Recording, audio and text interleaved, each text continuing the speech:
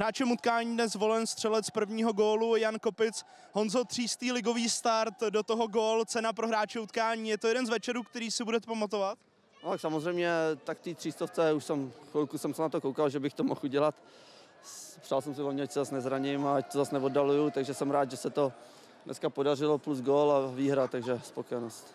Je ta výhra důležitá hlavně po tom eh, zápase na Slovácku, že vám pomůže z hlediska sebevědomí? No, tak samozřejmě, potřebovali jsme tři body nutně, budeme je potřebovat i za týden. A víme, Sparta se dotahuje, Slávě taky vyhrává, musíme, musíme šlapat. No, ne, nebylo, to, nebylo to úplně fotbalově asi ono pořád, ale tři body. No. Když se vrátím k tomu gólu, dal jste někdy nějaký podobný, že jste tam v podstatě skočil, ať se stane cokoliv?